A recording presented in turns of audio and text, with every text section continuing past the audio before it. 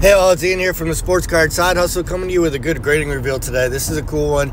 It's a 2019 Panini 1 and 1 downtown Stephen Curry, and it's a follow up.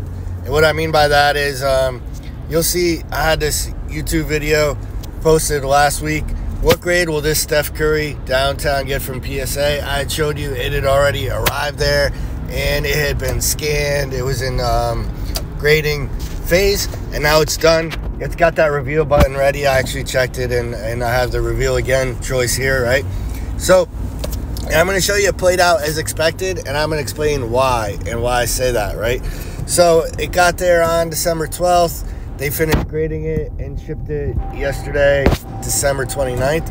And so if we go to reveal again, go through this reveal process. It's kind of cool. It shows you the back first for some suspense. There's the back with the label and ID number. And when you flip it, I got that PSA 10, right? And I'm happy with that. So um, I got a PSA 10. I'll show you the, the details and the background here of um, how that played out. I had bought it on November 7th. I organized it with other cards that I had going in for grading order, right? Got it where they received it, checked it in on December 12th. And why though did I was I willing to pay this price? Why did I feel like I would get a PSA 10? I had explained this prior in my purchase, but if if I use this um one, one of my favorite sites, gemrate.com, right? I'm at gemrate.com here. I put in Stephen Curry, get a Stephen Curry summary, and I go down here. You see all the cards he's ever had in the total grades and gem rates. But when I filtered to 2019 right here, you can see I say give me all the just filter the 2019s. Then I filtered the downtowns. He's only got that one downtown. And now with mine, that's 40 out of 45 have gemmed.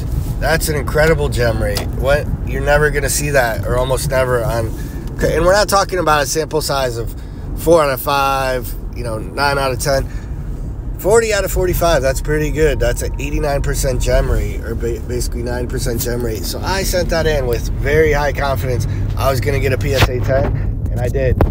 So, again, here's that card. I love it. I have it slab now, and this will be up for auction on eBay. So look for this card and check it out, and let me know your thoughts.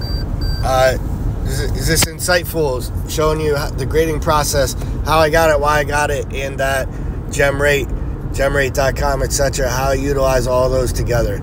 Okay? All right. Have a good week, all, and please hit those like and subscribe buttons. Talk to you soon. Thank you.